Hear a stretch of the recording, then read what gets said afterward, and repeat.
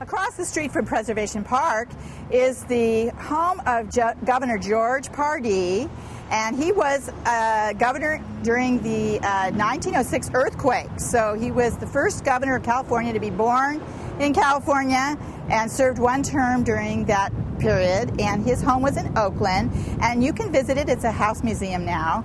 And included in the uh, grounds are the original coach house, the water tower, the gardens, and the beautiful home which was built in 1868.